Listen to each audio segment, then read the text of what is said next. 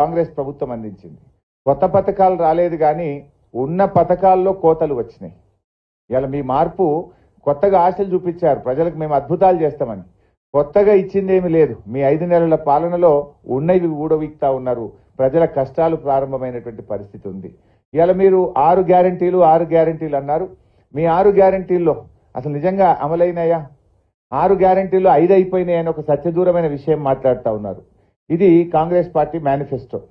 ఈ మేనిఫెస్టోలో వాళ్ళు ఇచ్చిన ఆరు గ్యారంటీలు. మీరు చూస్తే ఈ ఆరు గ్యారంటీల్లో ఐదు అయిపోయినాయి అంటున్నారు. నేను మీ ద్వారా రాష్ట్ర ప్రజలకు చెప్పదలుచుకున్నా కాంగ్రెస్ పార్టీని అడగదలుచుకున్నా ఆరులో ఐదు అయినాయా? ఆరులో మొదటి గ్యారంటీ మహాలక్ష్మి. ఈ రాష్ట్రంలోని ప్రతి మహిళకు రెండు వేల ఐదు వందల రూపాయలు ఇస్తామన్నారు. అమలైందా? కాలేదు. అంటే మొదటి గ్యారంటీ ఫెయిల్. రెండవ గ్యారంటీ రైతులకు రైతు బంధుకు పదిహేను వేల రూపాయలు వడ్లకు మొక్కలకు ఐదు వందల బోనస్ వ్యవసాయ కూలీలకు పన్నెండు వేలు. అయిందా? రెండవ గ్యారంటీ కాలేదు ఫెయిల్. మూడవ గ్యారంటీ ఇందిరమ్మ ఇండ్లు.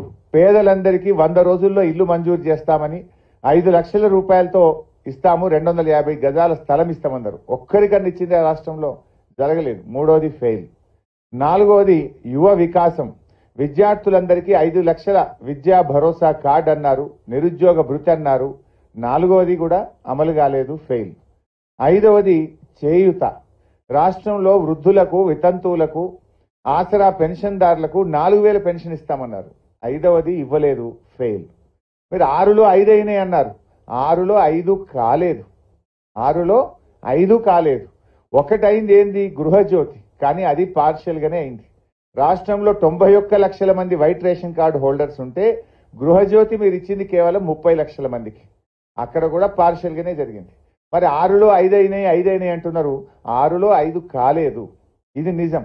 కానీ ఒక గోబల్స్ ప్రచారాన్ని తిరిగి చేస్తా ఉన్నారు. ఇలా మీరు అందరికీ మోసం చేసినారు. ఎవరికి మోసం చేయలేదు? రైతులకు మోసం మహిళలకు మోసం పేదలకు మోసం విద్యార్థులకు మోసం నిరుద్యోగులకు మోసం ఉద్యోగులకు మోసం గొల్ల కుర్మలకు మోసం. ఇవన్నీ కూడా మీరేం చెప్పారు? ఇవాళ రైతులు రైతులకు ఆరు విషయాలు చెప్పారు. ఒకటి రైతు బంధు పదిహేను వేలు మోసం. రెండు కౌలు రైతులకు పదిహేను వేలు మోసం. వ్యవసాయ కూలీలకు పన్నెండు వేలు మోసం. వడ్లకు మక్కలకు బోనస్ మోసం. రెండు లక్షల రుణమాఫీ మోసం. ఆరవది మీరు చెప్పింది రైతులకు ఇరవై నాలుగు గంటల కరెంటు. అది మోసం. ఆరు విషయాలు రైతులకు ఇచ్చిన ఏ ఒక్క హామీ నిలబెట్టుకొని కాంగ్రెస్కు ఈ రాష్ట్రంలో రైతులు ఎందుకు ఓటేయాలని ఈరోజు ఆలోచిస్తా ఉన్నారు. ఇకపోతే మహిళలు. ఇందాకే చెప్పినట్టు రాష్ట్రంలో పద్దెనిమిది ఏళ్ళు నిండిన మహిళలందరికీ రెండు వేల ఐదు వందల రూపాయలు ఇస్తామని మోసం చేసినారు. ఒక్కొక్క మహిళకు కాంగ్రెస్ పార్టీ నాలుగు నెలలు పోయి ఇప్పుడు ఇంకా రెండు రోజులు అయితే ఐదు నెలలు అవుతుంది ఐదు నెలలకు కాను పార్లమెంట్ ఎన్నికలు జరిగేలోపు ఐదు నెలలు నిండుతాయి. అంటే ప్రతి మహిళకు పన్నెండు వేల ఐదు వందల రూపాయలు కాంగ్రెస్ పార్టీ బాకీ పడ్డది. కాంగ్రెస్ పార్టీ మహిళల ఓటు అడిగే ముందు పన్నెండు వేల ఐదు వందల రూపాయలు చెల్లించినాకనే ఇవాళ ఓటు అడిగే నైతికత కాంగ్రెస్ ఉంటుంది మూడవది పేదలు ఆసరా పెన్షన్దారులు. ఇలా బాధకరం ఏంటంటే నాలుగు వేల మాట దేవుడెరుగు కానీ ఈ నాలుగు నెలల్లో జనవరి నెల పేదలకు ఇచ్చే పెన్షన్ను ఎగరగొట్టేసింది. ఆ రెండు వేలు కూడా ఇవ్వలే ఒక నెల. ఒక నెల జనవరిలో వృద్ధులకు వితంతువులకు పెన్షనే ఇవ్వకుండా ఎగరగొట్టేసినారు.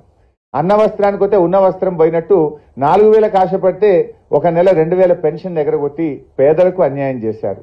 విద్యార్థులు ఇవాళ భరోసా కార్డు ఇంకా ప్రారంభమే లేదు.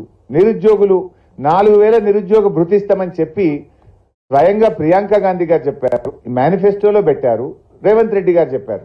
మేము అసెంబ్లీలో ఎప్పటి నుంచి అమలు చేస్తారంటే బట్టి విక్రమార్క గారు లేచి మీరందరూ సాక్ష్యం దానికి మేము నిరుద్యోగ భృతిస్తామని ఎక్కడా చెప్పలేదు. ఆరు గ్యారెంటీల్లో చెప్పలేదు ఎన్నికల్లో చెప్పలేదని నిండు అసెంబ్లీలో పట్ట పగలు అబద్దమాడి చేతులెత్తేసిన తీరు పట్ల ఇలా రాష్ట్రంలోని నిరుద్యోగులు చాలా తీవ్రమైనటువంటి ఆగ్రహంతో ఉన్నారు. ఉద్యోగులకు మోసం. మేనిఫెస్టోలో వాళ్ళు ఏం రాశారు? మేము అధికారంలోకి రాగానే వెంటనే ఉద్యోగులకు పెండింగ్లో ఉన్న మూడు డిఏలు ఇస్తామన్నారు. మూడు బై ఇప్పుడు నాలుగో డిఏ కూడా కేంద్ర ప్రభుత్వం ఇచ్చింది. ఇలా నాలుగు డిఏలు పెండింగ్ పెట్టి రిటైర్ అయిన ఉద్యోగులకు పెన్షనరీ బెనిఫిట్స్ ఇవ్వకుండా రాష్ట్రంలోని ఉద్యోగులను కూడా కాంగ్రెస్ పార్టీ మోసం చేసింది. అందువల్ల ఇలా రాష్ట్ర ప్రజలు తప్పకుండా నిజంగా మార్పు కోరుకుంటున్నారు. నిజంగా ఈ- ఈ కాంగ్రెస్ పార్టీ ఎందుకు ఓటేశాము? వద్దురో నాయనా ఈ కాంగ్రెస్ పాలన అనే పరిస్థితి ఐదు నెలల్లోనే వచ్చింది. ఇలా రైతులు కేసీఆర్ను గుర్తు చేసుకుంటున్నారు. మహిళలు కేసీఆర్ను గుర్తు చేసుకుంటున్నారు. పెన్షన్దారులు తిరిగి కేసీఆర్ను గుర్తు చేసుకునేటువంటి పరిస్థితి ఇలా స్పష్టంగా కనబడతా ఉంది. ఇలా మనం ఒకటి మన చట్ట ప్రకారంగా చెక్ ఎవరైనా ఒక చెక్ ఇచ్చారనుకోండి చెక్ బౌన్స్ అయితే ఏమవుతుంది? చట్ట ప్రకారంగా శిక్ష పడుతుంది. కానీ ఈ రాష్ట్రంలో కాంగ్రెస్ పార్టీ ఇచ్చిన బాండ్ పేపర్ బౌన్స్ అయింది. బాండ్ పేపర్ బౌన్స్ అయినప్పుడు శిక్ష పడాలనే వద్దా కాంగ్రెస్కు? మీ బాండ్ పేపర్ మీద వంద రోజుల్లో ఆరు గ్యారెంటీలు అమలు చేస్తాం. పదవీ బాధ్యతలు చేపట్టగానే మొదటి సంతకం ఆరు గ్యారెంటీల మీద అన్నారు. మొదటి అసెంబ్లీలో చట్టబద్ధత తెస్తామన్నారు. వంద రోజుల్లో అమలు చేస్తామన్నారు. You are failed in all these three issues ఒకటి మొదటి సంతకం పెట్టలేదు అసెంబ్లీలో చట్టబద్ధత లేదు వంద రోజుల్లో అమలు చేయలేదు. అందువల్ల బాండ్ పేపర్ బౌన్స్ చేసిన కాంగ్రెస్ పార్టీకి ఈ పార్లమెంట్ ఎన్నికల్లో ప్రజలు శిక్ష వేయాలని ఈరోజు డిసైడ్ చేసుకున్నారు. కానీ ఇలా కొత్త నాటకం కూడా స్టార్ట్ చేసినాడు ముఖ్యమంత్రి గారు. అసెంబ్లీ ఎలక్షన్ల ముందు ప్రామిసరీ నోట్లు ఇప్పుడు అన్ని గాడ్ ప్రామిస్లు. అసెంబ్లీ ఎన్నికల ముందు ప్రామిసరీ నోట్లు ఇచ్చి ప్రజల్ని ఓట్లు వేయించుకునే ప్రయత్నం చేశారు.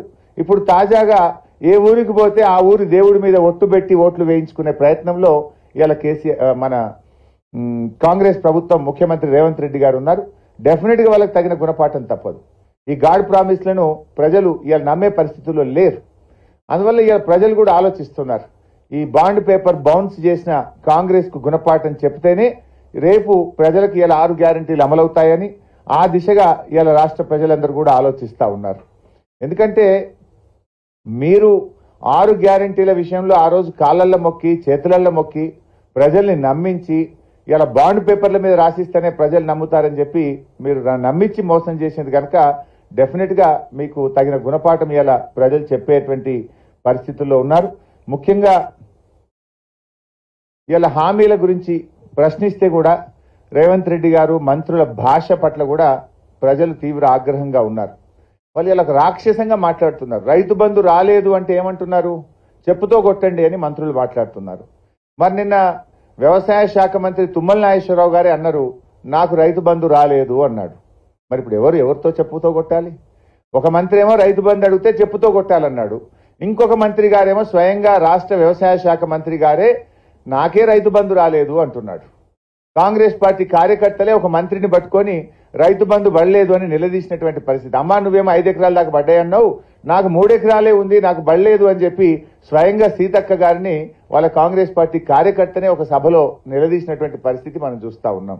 అంటే ఇవాళ ఈ ప్రభుత్వం ఢిల్లీకి మూటలు పంపడం మీద ఉన్న శ్రద్ధ ఆరు గ్యారంటీల అమలు విషయంలో లేకుండా పోయింది. ఇవాళ పార్లమెంట్ ఎన్నికల సందర్భంగా అన్పార్లమెంటరీ లాంగ్వేజ్తో రేవంత్ రెడ్డి గారు మెచ్చి రెచ్చిపోతా ఉన్నారు. దీన్ని ఇవాళ ప్రజలు నచ్చట్లేదు. ఇవాళ మీరు చూడండి రేవంత్ రెడ్డి గారి భాష కానీ బాడీ లాంగ్వేజ్ కానీ ఇవాళ రాష్ట్రం యొక్క పరువు తీసే విధంగా. అరే తెలంగాణ రాష్ట్ర ముఖ్యమంత్రి ఇట్లా మాట్లాడతాడా? ఇదేం భాష అని ప్రజలు అసహించుకుంటున్నారు. ఒక ముఖ్యమంత్రి గారు మాట్లాడే భాష వల్ల రాష్ట్రం యొక్క గౌరవం తగ్గే విధంగా ఇవాళ రేవంత్ రెడ్డి గారి వ్యవహార శైలి ఆయన భాష ఉన్నది. ఆయన అంటారు రాష్ట్రంలో తెలంగాణ సాధించిన కేసీఆర్ను పదేళ్ళు ముఖ్యమంత్రిగా పనిచేసిన కేసీఆర్ గారిని పట్టుకొని నీ పేగులు తీసి మెడలేసుకుంటాను ఒక ముఖ్యమంత్రి గారు మాట్లాడొచ్చునా? నీ కనుగుడ్లు తీసి గోటీలు ఆడతా అని చెప్పి ఇవాళ రేవంత్ రెడ్డి గారు ఆ భాష వాడడాన్ని ఇవాళ తెలంగాణ ప్రజలు అంగీకరించొద్దనుకుంటున్నారు.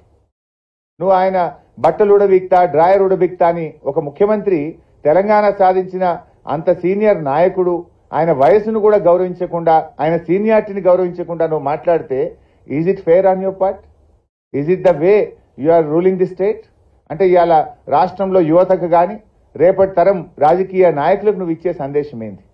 ఇవాళ రాష్ట్ర ప్రజలు దాన్ని ఒప్పుకునే పరిస్థితులు లేరు ఇలా కేసీఆర్ గారి పట్ల కానీ మీరు వాడుతున్న భాష పట్ల మీ యొక్క బాడీ లాంగ్వేజ్ పట్ల నీ యాటిట్యూడ్ పట్ల ఇవాళ రాష్ట్ర ప్రజలు తప్పకుండా తగిన గుణపాఠం చెప్పేటువంటి పరిస్థితుల్లో ఇవాళ ప్రజలు ఆలోచిస్తూ ఉన్నారు. ఎందుకంటే ఆయన ప్రయత్నం వల్ల కూడా మీరు చూస్తే కేసీఆర్ గారు ఏం చేస్తే దాన్ని రివర్స్ చేసే ఆలోచనలో ఉన్నాడు. రివర్స్ చేసే ఆలోచనలో ఉన్నాడు. ఇలా కొత్త జిల్లాలు ఏర్పాటు చేసి పరిపాలన వికేంద్రీకరణ జరిగితే ఈయన అంటాడు జిల్లాలు తీసేస్తా అంటాడు. ఏ జిల్లా తీస్తావు? జిల్లాలు తీస్తే ప్రజలు ఊరుకుంటారా? జిల్లాలు తీయడం ద్వారా నువ్వు ఏం మెసేజ్ చేయాలనుకున్నావు ఒక కొత్త జిల్లా వస్తే ఇలా భూపాలపల్లి జిల్లా వచ్చింది. అక్కడ ఏం బెనిఫిట్ వచ్చింది? అక్కడ ఒక మెడికల్ కాలేజ్ వచ్చింది. ఒక జిల్లా ఆసుపత్రి వచ్చింది. జిల్లా రావడం ద్వారా ఉన్నత అధికారులు వచ్చి అక్కడ అడ్మినిస్ట్రేషన్ ఫోకస్ రావడం ద్వారా ప్రజలకు పరిపాలన దగ్గరగా వచ్చింది. దాన్ని తీసేయాలనుకుంటున్నారా మీరు? ఇలా ఒక నాగర్ కర్నూలు ఒక భూపాలపల్లి ఒక ములుగు జిల్లా ఒక ట్రైబల్ డిస్టిక్స్ ఇలాంటి గద్వాల్ లాంటి ప్రాంతం. అక్కడ ఇలా పరిపాలన ప్రజలకు దగ్గరగా వచ్చి ప్రజలకు మేలు జరుగుతూ ఉంటే నేను జిల్లాలు తగ్గిస్తా కమిషన్ వేస్తా అని రేవంత్ రెడ్డి గారు మాట్లాడడం అంటే ఇది ఇది ఇది ముందుకు పోవడం కాదు వెనక్కి పోవడం. ఇది సరి అయినటువంటి పద్ధతి కాదు. అంటే ఒక గుడ్డి వ్యతిరేకతతో కేవలం పగ ప్రతీకారంతో ఇవాళ ప్రభుత్వాన్ని నడుపుతున్నట్టు కనబడుతుంది తప్ప మేము గత ప్రభుత్వం కంటే మేలుగా పనిచేస్తాము బాగా పనిచేసి పేరు తెచ్చుకునేటువంటిది ఈ ప్రభుత్వంలో కనబడతలేదు. ఎంతసేపు పగ ప్రతీకారం అనేటువంటిది మాత్రమే రేవంత్ రెడ్డి గారిలో ఈరోజు కనబడతా ఉంది. మీరేమన్నారు ఆ రోజు? మాటలు కోటలు దాటుతున్నాయి. చేతల్లో గడప దాటని పరిస్థితి రేవంత్ రెడ్డి ప్రభుత్వాన్ని ఆ రోజు ఆ రోజు ఏమన్నారు ప్రమా ప్రమాణ స్వీకారం చేసేటప్పుడు ప్రగతి భవన్ ముందు ఇనుప కంచెలు బద్దలు కొడుతున్నామో అన్నారు. అది పెట్టిందే కాంగ్రెస్ ప్రభుత్వం. మీ మేనిఫెస్టోలో ఏం చెప్పారు? ప్రతిరోజు ముఖ్యమంత్రి ప్రజల్ని కలుస్తాడు. మేము మాది ప్రజాపాలన అన్నారు. ఏం జరిగింది? మొదటి రోజే కలిసిండు. రేవంత్ రెడ్డి ఒక్కరోజు మొదటి రోజు మాత్రమే ప్రజల్ని కలిసిండు. మళ్ళా ప్రజల్ని కలిస్తే ఒట్టు. రెండవ రోజు మంత్రులు పోయిండ్రు. వాళ్ళు ఒక రెండు రోజులు కలిసిండ్రు.